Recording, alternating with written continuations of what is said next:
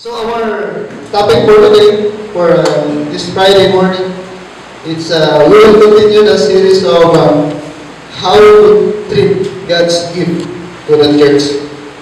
How we treat God's gift. When you speak uh, gift, uh, it means here about our uh, overseer or about about our pastor. Last uh, Friday, it is about other verse. The, our text is from uh, this uh, verse in Hebrews 13, verse 7, and Ephesians chapter 4, verse uh, 7 to 15. So last uh, last Friday, the part one is about remembering. Remembering. Remembering means uh, we should uh, consider our uh, pastor as a gift from God. Amen. It is a gift from God. Where we can find that one? In James, in uh, Jeremiah chapter 3, verse 15.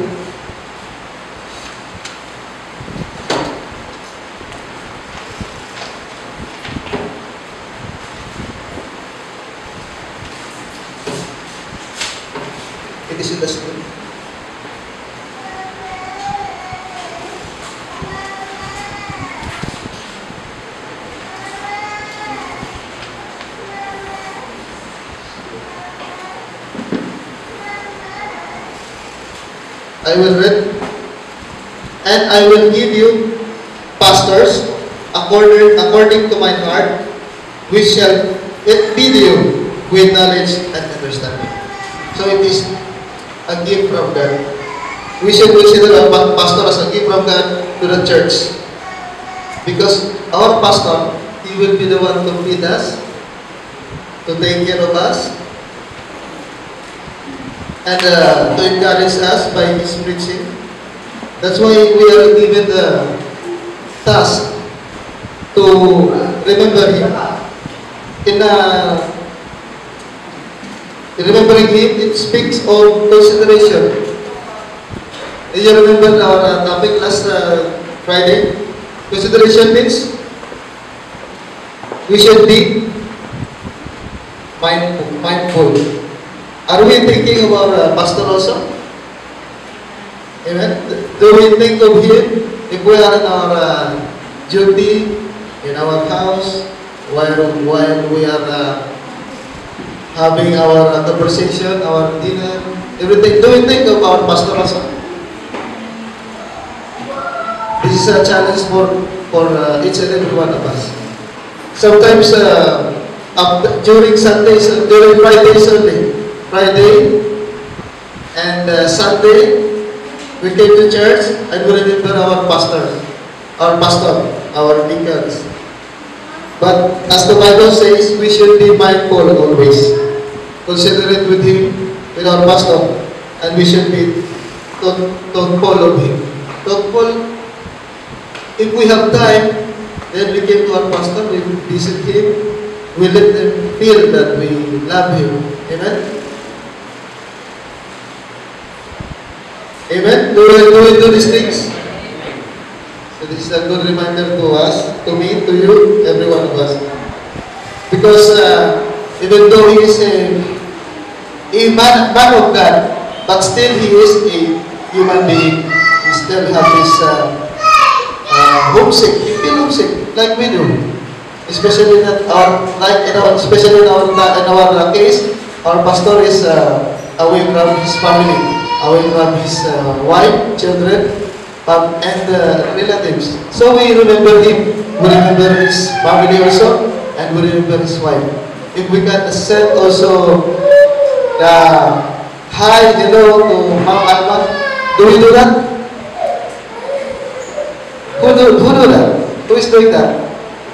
Ma'am Alma, how are you? Ang friend, ha? Ang friend si Ma'am Alma. Number two, we should be compassionate. Compassionate. com- being compassionate, it is a true idea of a simple act of human kindness.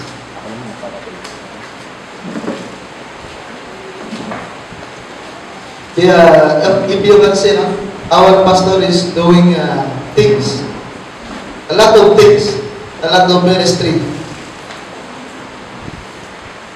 So let us remember him very often. Amen.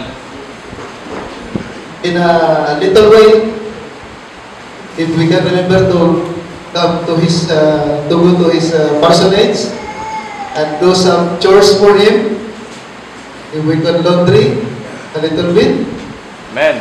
Alright? I challenge myself in some little way.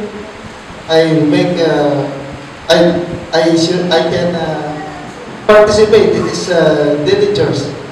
Difficult. From Monday, from uh, Sundays to Thursday, all, all day, all day, 24-7, our pastor is going there for Bible study, preparing for the, actually, uh, it is hard to stand before in front of you. But uh, we, I remember, or everybody who are uh, approached by our pastor, uh, acknowledge his uh, effort. So actually, this is this message is also prepared by uh, Pastor. Thank you very much for him. All we need to do is to is to read for you. So life is easy. We should be compassionate with our pastor. We let him know that we love him. Amen. In some little ways. And uh, number three of that uh, part one about remembering is that uh, we should not forget to pray for our pastor. We should pray for him. He is praying for us every day, he said. Our pastor said, and do we do likewise? We pray for him every day. Let us not forget him in our prayers. And if we do all these things that God commands towards us to do to our pastor, God will honor our efforts. God will honor our act of kindness, our sacrifices, and He will bless the ministry where we belong. Amen? Amen. We are not telling this because we don't, we are not doing this. We are not uh, telling, I'm not telling this to work to you, to me, because we are not doing this. I'm, I'm telling this because we are doing this. And that's why God is always good to be busy because we love us, our pastor. Amen? Amen.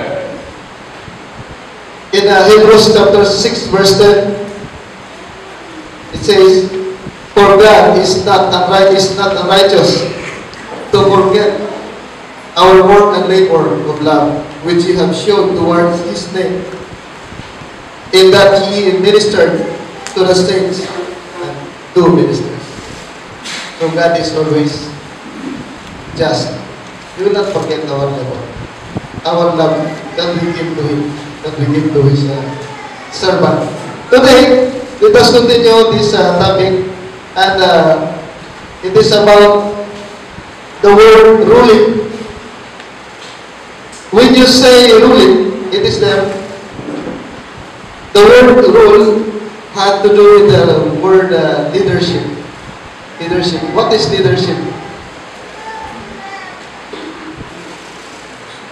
It speaks of authority God has placed in the office of the pastor.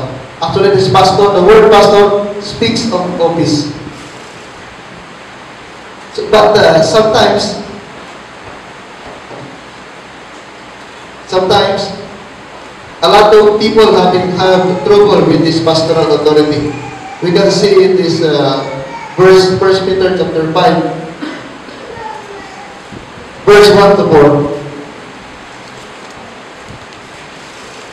And I will read, The elders which are among you, I exhort, who are elder and also an elder, and a witness of the suffering of Christ, and also a partaker of the glory that shall be revealed. Verse 2, Feed the flock of God which is among you, taking the oversight thereof, by not by constraint, but willingly, not for filthy lucre, but of ready mind.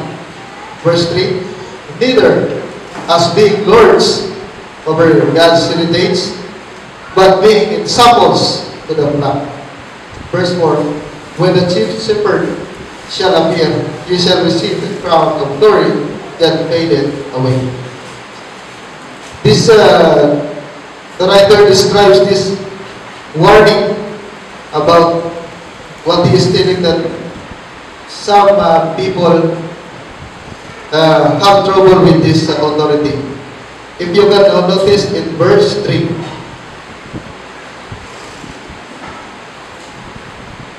verse 3, do not be lords over God's heritage.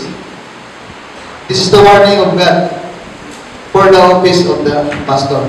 The one who is uh, sent by God. And this is the warning.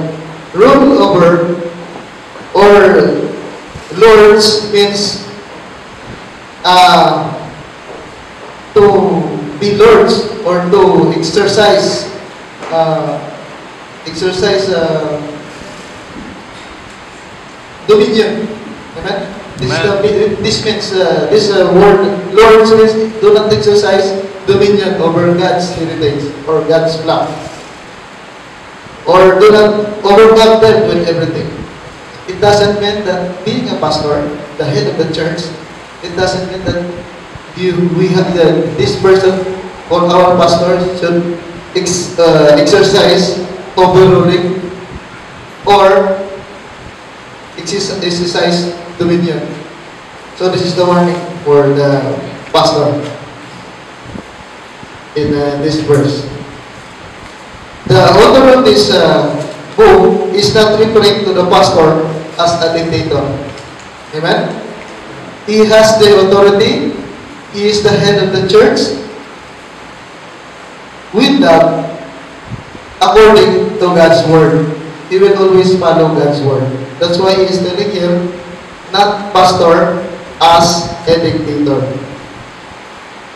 And, uh, and uh, instead he said, being in samples. He used the word in samples. Sometimes, this is the first time he did, I think this is the first time and the last time he used the word ensamples. The Greek word of this, uh, the root, the root word from Greek means uh, topos, T-O, T-O-O-T-O-S, which uh, means blueprint. Are you familiar with blueprint? Pattern? This blueprint, if you read and if you transfer this one, this is the exact copy. Or the pattern. Have you seen the seal? If you put the seal, the output will be the exact copy of this pattern. So this is the exact, this is the, the instruction of the Lord to our pastors. That we should, that our pastor will be the pattern Jesus Christ, that he will be the pattern, and let, us pattern ourselves to our pastor like that. This is the instruction. Being examples. Who is the head of the church? Lord Jesus Christ. The Lord Jesus Christ. So our pastor patterned before the Lord Jesus Christ and he set the examples.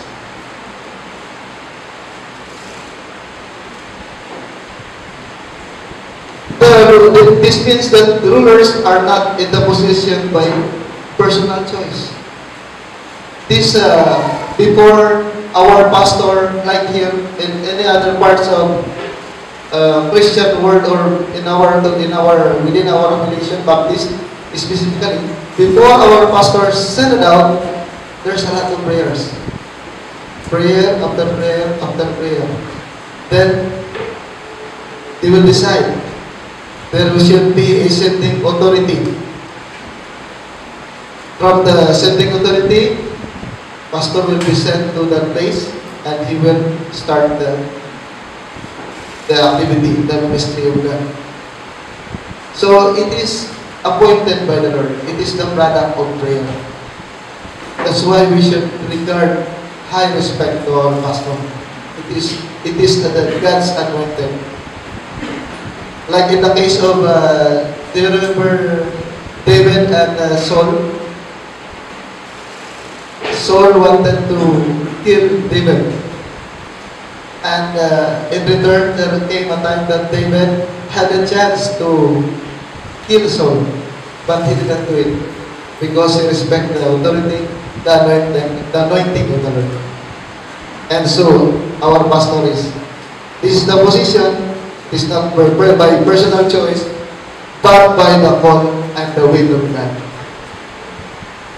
So this, this means the role, the word, role, and leadership.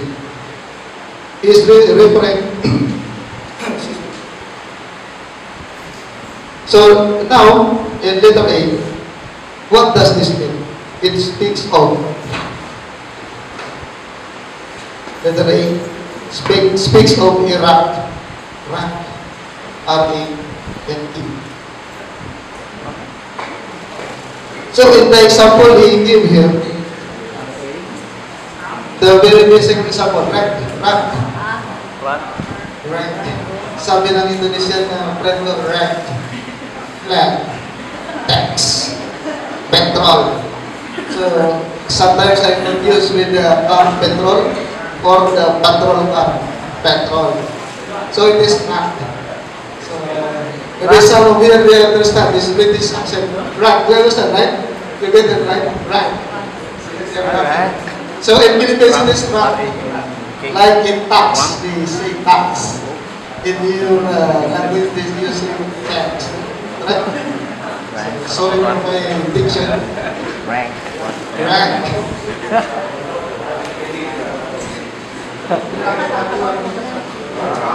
Rank. This rank. Rango. Rango. Rank. Rank. Clear? Rank, ha? R-A-N-K.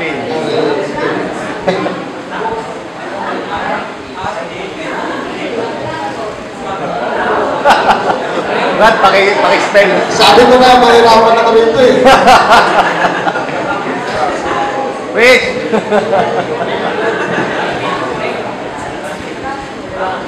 So, the nature teaches us about, the, the sample here is about living organisms. So, if you're uh, familiar with the word freak, they always say, it's a freak. Why? Because it, the cow has two heads. Why? Normally, the cow has one head. That's why. Single-headedly. So, if you see a person with two heads, then it will be something else. Maybe they will gonna call it monster, right? Freak or monster. So it is true also in our church. We should only have one head. In uh, our uh, chief shepherd is Jesus Christ. Amen. But we have the local church. And the head of the local church is the pastor. Are you familiar with the Baptist in distinctives? Amen. Baptist distinctives. Are you familiar? So, Baptist, B A P T I S T. Okay, I will give I will give the meaning. I will give the distinctives. I will not explain further. I will explain just two distinctive which are related to our topic. So, number one, Baptist means biblical authority. Biblical authority. Please write it down. You have the notes backside. Baptist, B, biblical authority. A, autonomy of the local church. I will come back to this word. P, priesthood of every believer. T, the two, the two ordinances, ordinances. I, individual soul liberty. S, it is the same baptized church members. And the last is T, the two offices. So for A, is the autonomy of the local church. So when the pastor is sent out, once the church is established, the head, the head is the pastor. So, the, this authority was already given to this pastor, local pastor. Like our pastor, Pastor John, he is the head of our church, and the chief shepherd or the the head of all is Jesus Christ. So this this is the autonomy of local church. We have we are self-governing. They cannot interfere with our activities. So this is one of Baptist district. Number two, two opposite office. Here it is uh, written, God did not place the authority for leading the church in the hands of the boards or bo- boards of deacons. So actually the two office are the pastor and the deacons. Deacons are also important. It is mentioned in the Bible.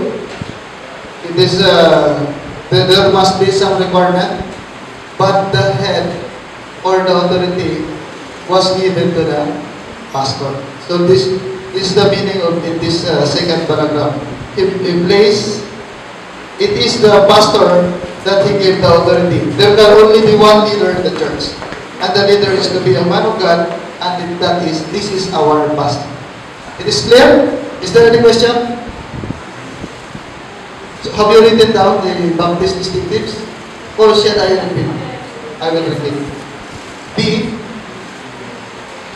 for Baptist, B, it is the biblical authority. Letter A, autonomy, autonomy of the local church. Autonomy of the local church. P, the priesthood of every believer. T, two ordinances. Two ordinances. I, individual soul liber- liberty. S, saved, baptized church members. And T, this is the two offices, which is the pastor and deacon, deacons. So it speaks of a rank. So the uh, the the head, the highest rank in the church is our pastor. Amen. Because this is the Bible is telling us. So our pastor uh, we lead us, we lead the church through his, uh, of course, is the devotion towards God. He is uh, studying, studying, he is leading everything he is doing in the church. We are we are so blessed to have our pastor like Pastor John. It's very difficult. It's very difficult. I have tried to be in the church, but just seeing Pastor John, I cannot uh, imagine how to do it, how to study every day, how to go out every day for Bible study.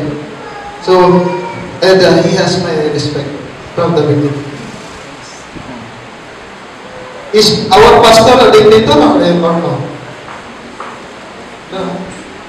Is Pastor John a dictator as the study warned him or no? No. Should be clear. This is in our study. Right. So he is leading. He is not dictating. He is showing the way. He is not just telling the way. He is showing the way. Actually, he gave the he gave the schedule for Sunday school, but he gave the topic. So it makes a Sunday school teacher, Friday school teacher, like easy. Man. Letter B, the our time will be short. Letter B is speaks of next up relationship. So when we first came, except for the pioneer, we just came as visitors. Then after we came, we became friends, friends with our pastor. And uh, that relationship and our life with Him has been changed. Amen? We came as visitor. We are encouraged by His words and our life changed. So, relationship with our uh, pastor, he has been by, placed by God in a position of authority, authority over you, over us. If uh, you can read in First Thessalonians chapter 5, verse 13 or 12, and we beseech you, brethren, to know them, which labor among you and are over you in the Lord, and among and admonish you, and to esteem them what? Esteem them very highly, very highly, for their work's sake, and be at peace among ourselves. The, the phrase esteem, esteem very highly means what? To have the highest respect, highest regard. So it, it is uh, it is it is not that we bow down to him like some are doing, but we give our highest regard uh, because of our love to God, because of our love to Him. We should uh, show Him. Well, it, here it is uh, written again. As open we heard, respect is what? Respect is earned down. Sabi nila, respect is earned. It cannot be demanded. But, in this case, it is ordered by the Bible, ordered by God. The, the office of the pastor is uh, special. The office itself, attached to it, is the respect. He will earn our respect through our preaching, through His preaching, through His service. For myself, and to be honest, how I wish I could bring my sister here and uh, let him, let her listen to Pastor Jan preach. Amen. Do you feel like that? How I wish I, I have my brother with me and listening to Pastor Jan while he is preaching. My mother, my sister, my son perhaps, my daughter. Do we feel that way too? How I wish. I pray also. I pray, not every day, but I often pray for my sister. She's far away. And how I wish for I pray that she can come and she can listen to Pastor. She is not bad, but maybe more, it will be best for her. Amen? Amen. Because Pastor Dan John got my respect through his preaching and his service to the Lord. This is the relationship. Speaks of uh, relationship. And uh, and uh, to show respect also, we have we are uh, we raised we are uh, raised from different place. We have different upbringing, but it is said here that we should be to have peace among each other to show respect to our pastor. We have our own differences, but we should forget that to show our respect to our pastor. Amen. We should be at peace with each other. Amen. There should be no grudges between each other. Right. If there's any, we should let that feelings go.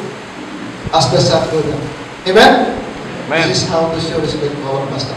And the last, before the time ends, it speaks of reality. What is the reality? So, from here, uh, since God has placed him in the position, he has a duty to tell us the truth. Amen? Sometimes, here it is written, the word will be the, the preaching of Pastor John is sweet. And, uh, especially when uh, Pastor John speaks about love. Right now, people, it is sweet. Love or uh, something like uh, we feel uh, good. But there are times that the preaching are hard. Amen? Amen. And we feel sleepy. Amen? So, it is the reality. It is sweet like honey at times, but sometimes it cut like a knife. However, we should remember that these words, he prayed for it, he studied it, and it, the, these word, those words are coming from the Bible, coming from the Word of God. And uh, Pastor, we cannot uh, we cannot uh, escape because our pastor will just tell, will address hard issues, and uh, of course it will probably be uh, hard to accept sometimes. Amen. And uh, that's why we are invited to come and uh, commit ourselves, change our mind. Because this should be like this, our pastor. They are like a fountain. You know fountain? If it is, uh, if somebody is taking water from the fountain, it flows. If somebody is not taking water from the mountain, in the mountain, I'm speaking of a fountain in the mountain. When somebody is not getting any water from there, nobody coming there, does the fountain stops or? No, it's, it is continuously flowing. How about rivers? If nobody will come and drink, does river stops or no? So our pastor is not like fountains, though there will be no one to draw the water, it keeps, uh, it uh, keeps flowing, and like rivers also. Though, and though no, though nobody drinks of it, from it, still the rivers flowing on. So this is the, it speaks of re, re- reality. And uh, to me, in uh, Colossians chapter 2, verse 5, with time now, my time ends now. I would like, I would just like to, can you plus the screen, Colossians chapter 2, verse 5. This is my verse to our pastor there.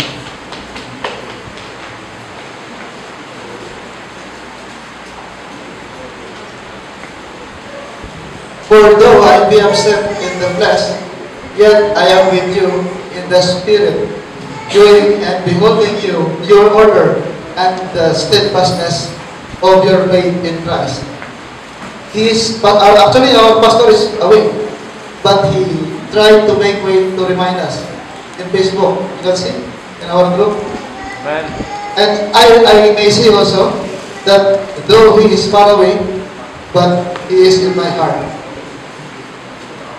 And I thank him. I thank him for his uh, inspiration and uh, motivation that uh, he has imparted in my life. I'm thankful to Pastor Dan. He showed me how it is to be the uh, how it is to be done.